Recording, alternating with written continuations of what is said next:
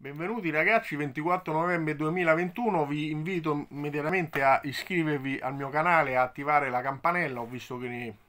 solo avendovelo detto nei giorni scorsi, è un po' di tempo che mi dimenticavo di dirvelo, eh, abbiamo già fatto 10 iscritti in più, siamo arrivati a 1380, no? quindi vi ringrazio e saluto i nuovi arrivati. Oggi è una giornata anche molto importante per questo paese perché come sapete da pochi minuti eh, il governo ha eh, deciso di eh, inasprire eh, le restrizioni per quanto riguarda eh, l'emergenza Covid, quindi ci, ci, sarà il Super Green Pass e quindi limitazioni ehm, molto forti per i Novax, diciamo i non vaccinati, salvo naturalmente quelli che hanno eh, che ne sono esclusi perché hanno delle patologie particolari dal vaccino che non potranno eh, sostanzialmente fare più un cazzo, potranno più andare eh, nei bar, nei ristoranti, a teatro, al cinema, in palestra, non potranno prendere un treno regionale, ehm, obbligo vaccinale per insegnanti, forze dell'ordine e, san- e operatori sanitari, tra l'altro che hanno l'obbligo della terza dose. Diciamo che eh, c'è un clima un po' particolare, cioè io sono un favorevole al vaccino, mi sono fatto due dosi, a febbraio farò quindi, forse addirittura a gennaio farò anche la terza dose del, del vaccino Moderna. E sono uno di quelli che si è messo diciamo in riga, ma cioè, capisco che c'è un clima un po' particolare in Italia su questa vicenda che ha creato grandi spaccature, però ehm, innanzitutto la prima cosa che vorrei dire è che è facile fare i forti quando eh, il 90, oltre il 90% degli insegnanti è già vaccinato, quindi io metto un obbligo che poi va a interessare proprio un'esigua minoranza di una categoria. È facile anche essere eh, duri, diciamo, nelle decisioni quando a dover rispettare queste decisioni sono categorie che sono già molto inquadrate e disciplinate come appunto le forze dell'ordine e anche i sanitari, quindi non lo so, eh, mi sembra un'esibizione muscolare che poi tanto muscolare non è in realtà e, ehm, e sicuramente una decisione tardiva, oggi siamo oltre i 12.000 contagi ma ormai sarà complicato salvare il Natale, capito? Questi provvedimenti dureranno fino al 15 gennaio, dal 6 dicembre al 15 gennaio, ma eh, diventa complicato salvare il Natale perché ormai eh, tutta questa gente non è che correrà a vaccinarsi e si vaccinerà eh, in un giorno, in due giorni, molti se lo vanno anche prenotare, non tutte le città sono organizzate con gli hub vaccinali open day, come si dice, aperti senza prenotazione, quindi io per come vedo le cose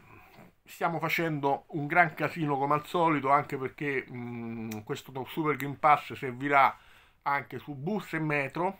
oltre che i treni regionali e vi, sfido qualsiasi città a riuscire a controllare tutti quelli che salgono sull'autobus o sulla metro se hanno il Green Pass o meno eh. magari anzi ci fosse un sistema informatico che lo rende possibile elettronico come lo vogliamo chiamare quindi per me si sta facendo un gran casino nel senso che mh, io per come vedo le cose io che sono una persona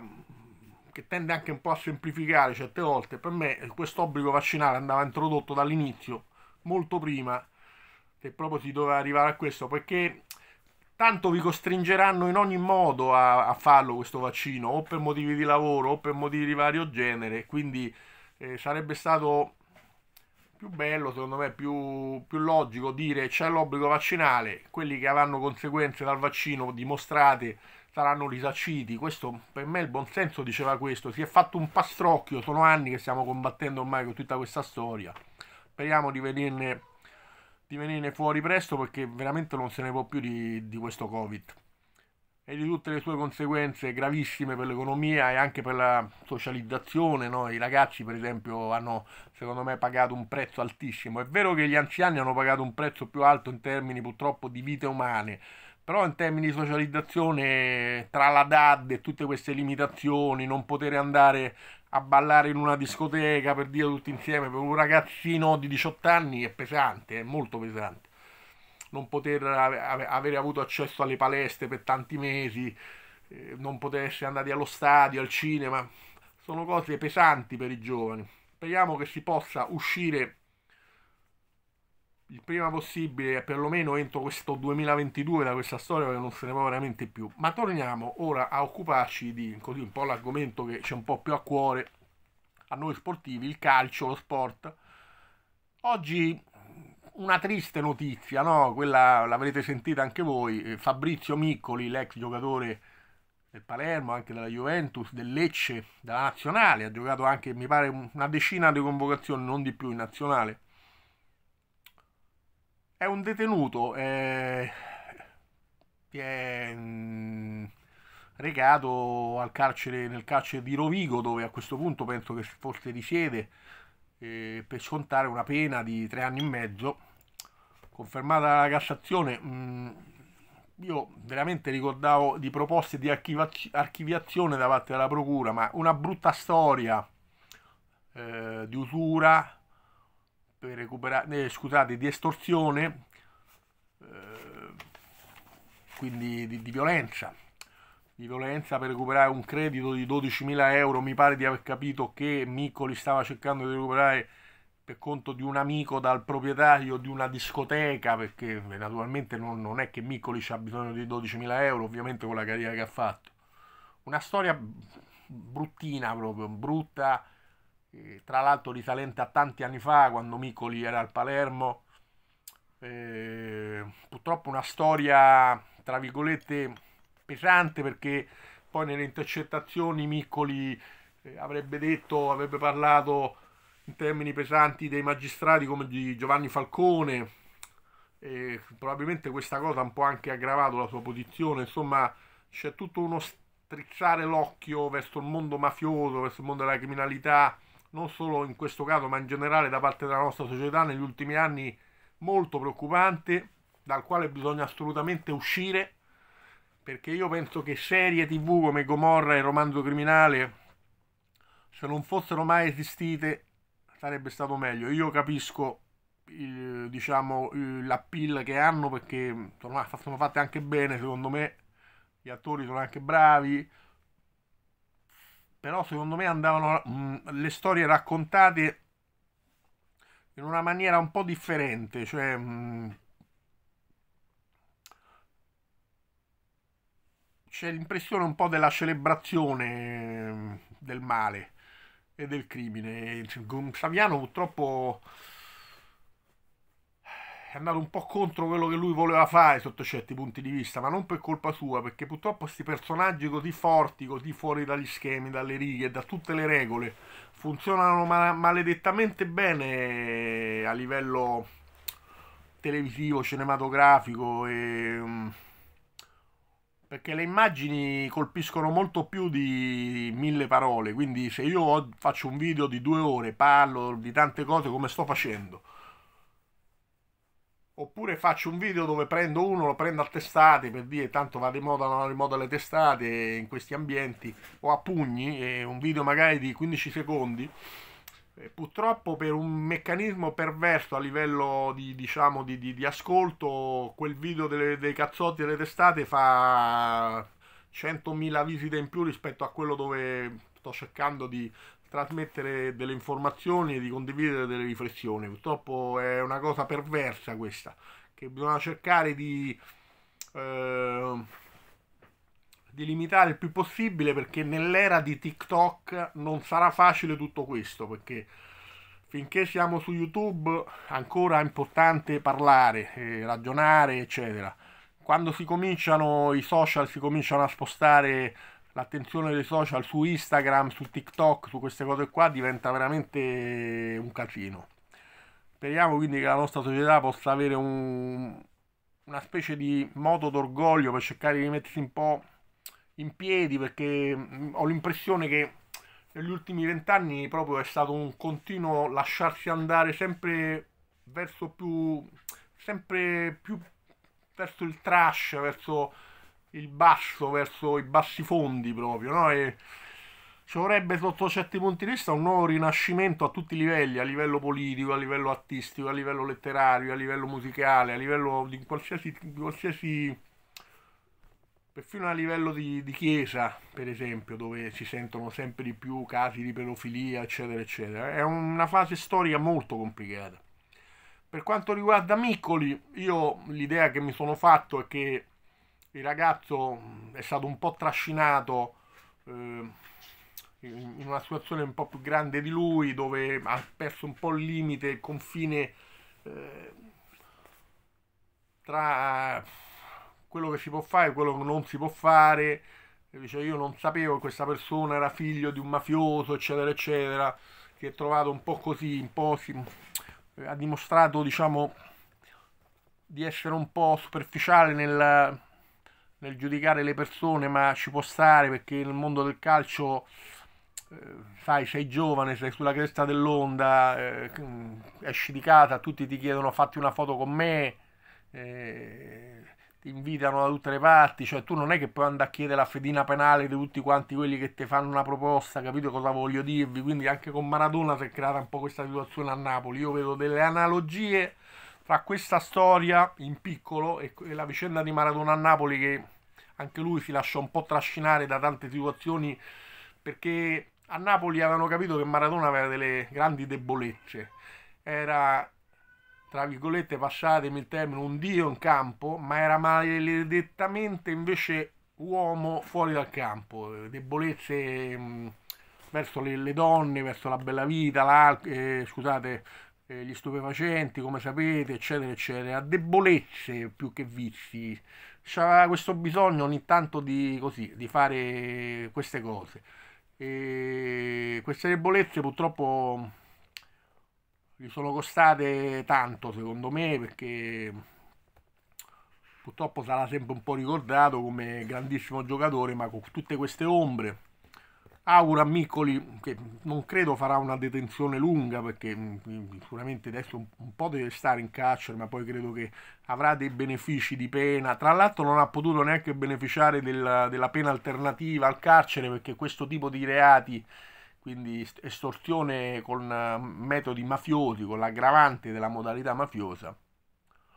non prevedono neanche la possibilità poi per la gravità, quindi è una cosa un po' particolare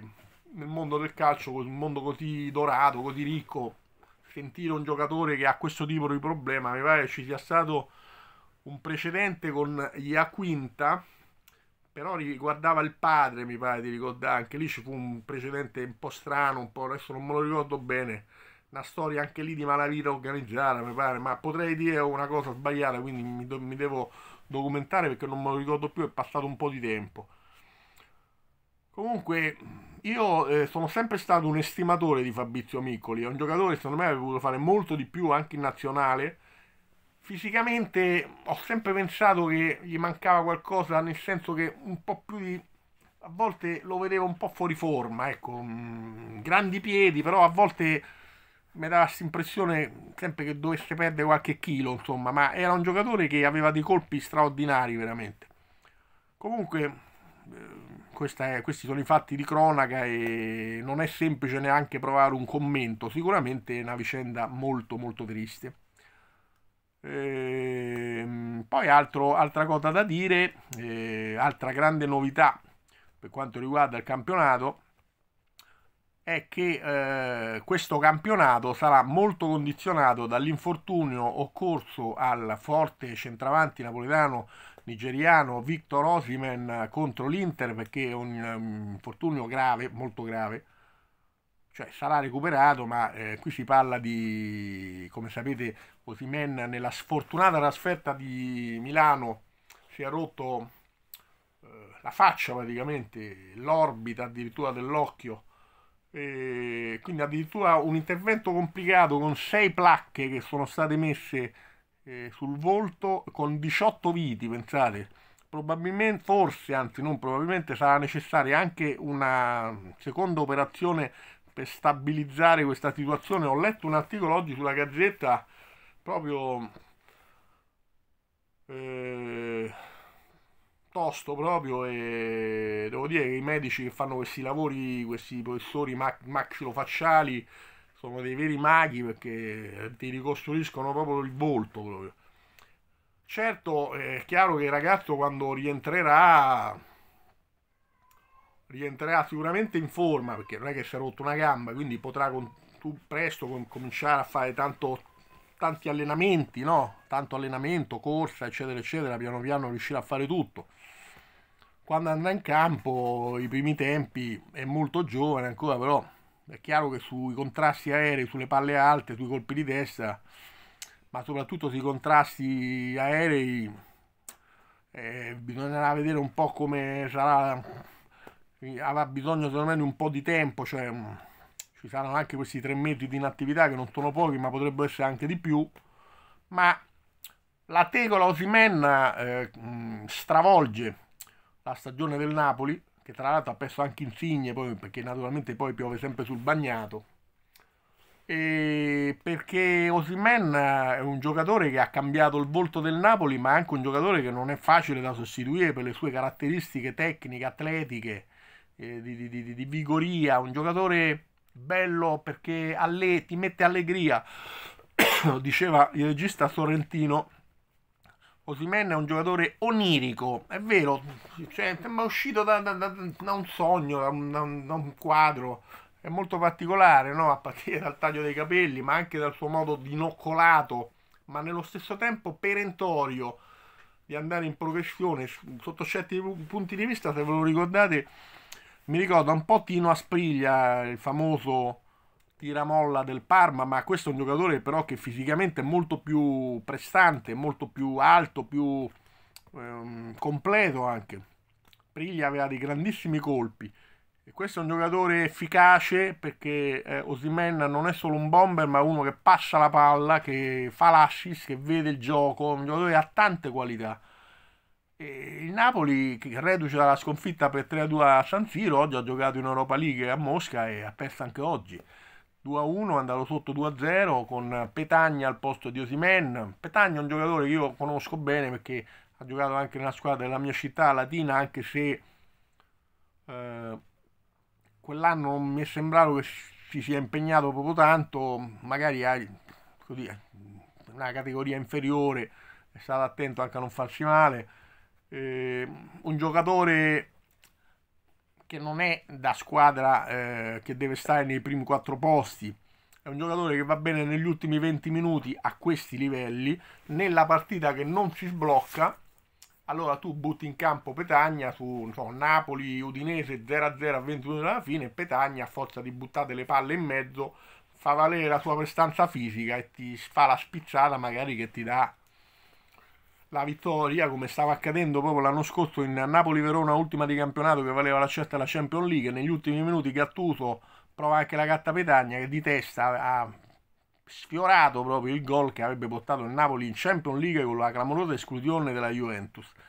Quindi è chiaro che con Petagna io credo che poi alla fine il titolare diventerà Mertens. Con Petagna il Napoli perde tanto Mertens è un ottimo giocatore, però ha caratteristiche completamente diverse rispetto a Osimen. Io temo che il Napoli pagherà un prezzo molto alto alla, all'assenza di Osimen, che tra l'altro salterà anche la Coppa d'Africa per causa di questo infortunio, con questo scontro con Milan Skriniar dell'Inter a centro area, che lì per lì sembrava un banale scontro. E invece, fin dalle prime immagini, quando lui esce dal campo, lui dice sono uscito in piedi per non far preoccupare troppo amici e parenti, pensare un po', eh, si vedeva proprio che era molto sofferente. Ma non pensavo però fino a questo punto fossero i danni provocati da, eh, tra l'altro il fortuito sconto, non c'è stata nessuna cattiveria da parte dell'ex Sampdoria Mina Skriniar. E credo che questo fattore Osimen potrebbe veramente dare un'impronta diversa a questo campionato e credo che a questo punto anche l'Inter rientrerà in gioco. Che tra le altre cose io continuo a considerare la squadra più completa, secondo me come organico, una squadra che, alla quale non manca nulla. E quindi vedremo. Poi oggi è la vigilia, parlando di Roma, di eh, Roma-Zoria, squadra ucraina, per quanto riguarda la partita di Conference League dopo la grande vittoria di la grande, la importante vittoria di, di Genova in campionato con la doppietta di Felix, eh, giocatore del quale sta parlando tutta Roma, il ganese Felix Afena Gianna. E domani Giovedì 25 novembre alle ore 21 allo Stadio Olimpico. Scende in campo lo Zoria, una squadra ucraina, per la quinta giornata della Conference League fase a gironi dopo i playoff che la Roma ha superato eh, opposta al Trasbon Eh, gara che andrà su Dazzon con la telecronaca di Pierluigi Pardo e Montolivo. Su Sky Sport 1, su Sky Sport canale 252 il streaming visibile sempre su DAZN, su Sky Go, applicazione gratuita e su Now TV. Oh, poi eh, all'andata ricorderete forse il 30 settembre la Roma vinse per 3 a 0 era tutta un'altra situazione in quel momento la Roma andava a 1000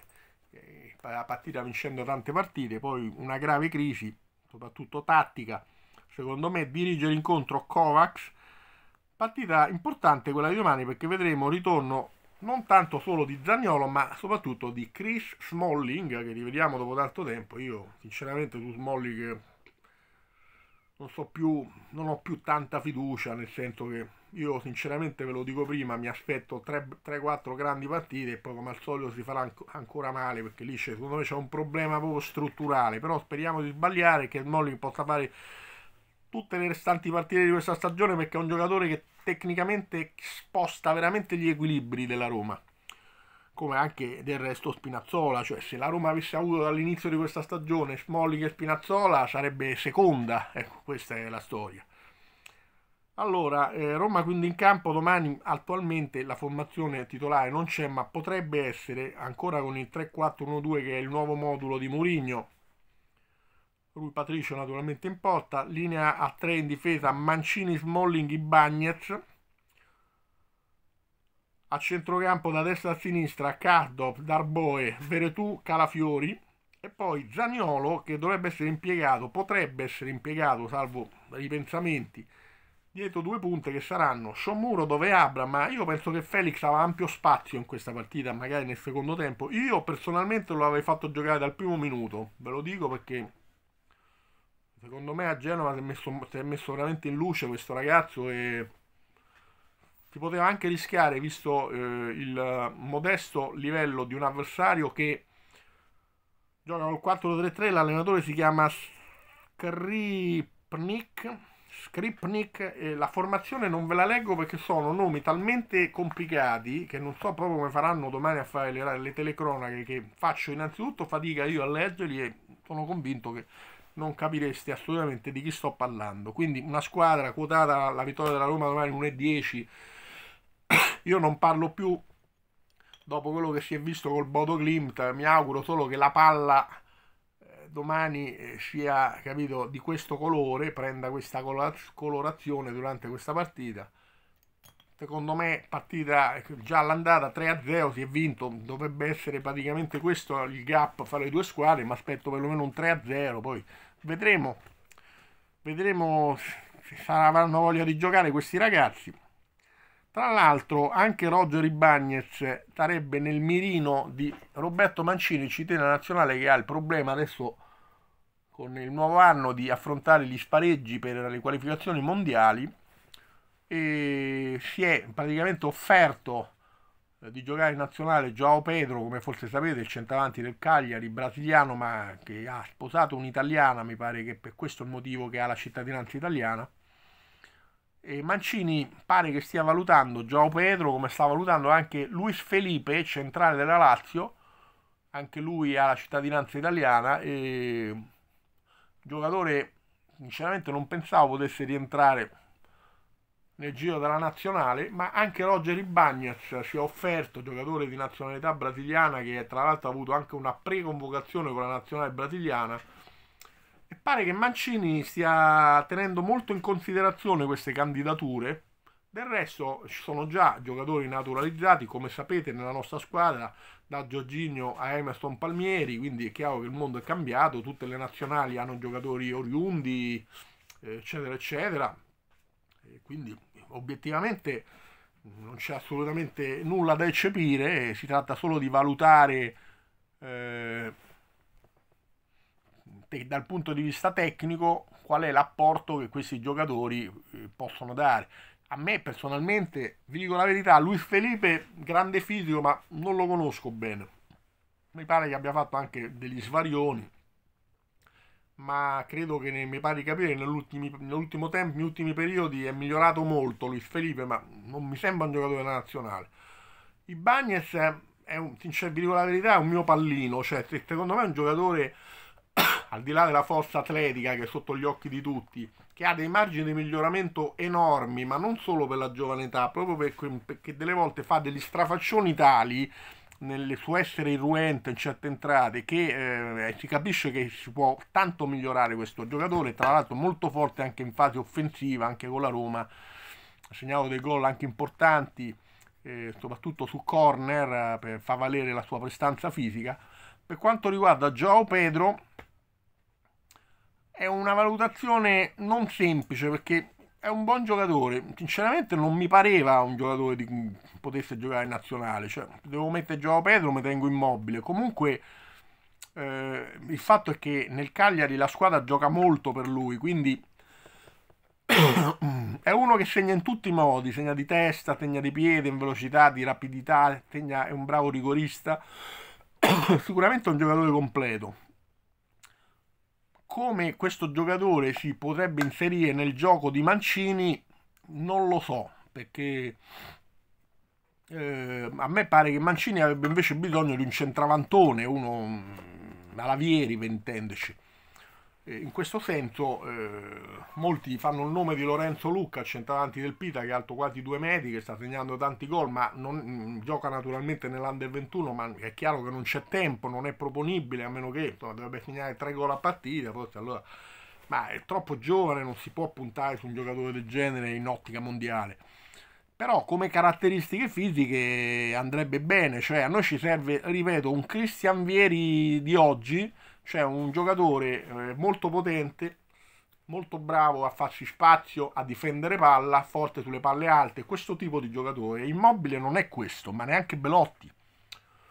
Cioè, Belotti è un giocatore che in Italia sembrava un altro giocatore rispetto a quello visto in nazionale, quando al confronto di giocatori più forti,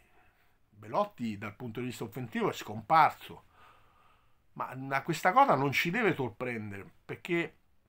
noi l'abbiamo visto ieri in Champions, in, Chelsea Juventus 4-0. Cosa vuol dire per le squadre italiane misurarsi con le squadre di mezza Europa? Eh, il livello del calcio italiano, ragazzi, è sceso. Eh. L'Atalanta ieri sul campo dello Young Boys, che era ultimo in classifica nella nel girone di Champions, eh, ha rimediato un pareggio all'ultimo minuto su calcio di punizione grazie a un, un'ottima punizione di Luis Muriel che è appena entrato in campo, ha rischiato di perdere su un campo che secondo me era ampiamente alla portata, adesso all'ultima partita in casa con l'Ester, vincendola si dovrebbe qualificare, ma ehm, sicuramente ha perso un'occasione ieri l'Atalanta ma ripeto al cospetto oggi il Napoli ha perso 2-1 a Mosca quindi come vedete al cospetto di squadre straniere e il Napoli stiamo parlando di una squadra che anche senza Osimene è prima in classifica. Eh, il Milan sapete che in Champions eh, è andata male oggi gioca a Madrid ma ha perso un sacco di partite anche immeritatamente però chiaro che tutti non parliamo poi della Roma che cosa ha combinato in Conference League come sapete col Bodo Glimt quindi come vedete eh, cioè noi forse li sopravvalutiamo pure un po' questi giocatori perché quando c'è eh, l'incontro appunto con le squadre cioè se noi non vinciamo mai una Champions no? per, per, sintetizzare no? ci sarà un motivo no? cioè, è chiaro questo ma eh, non riusciamo a vincere la Champions da non so più neanche quanti anni da, eh, dai tempi dell'Inter credo credo che l'ultima Champions sia quella dell'Inter il triplete quindi cos'è, al 2010, da tanto tempo. Quindi il calcio italiano sicuramente sta vivendo un momento molto complicato a livello di...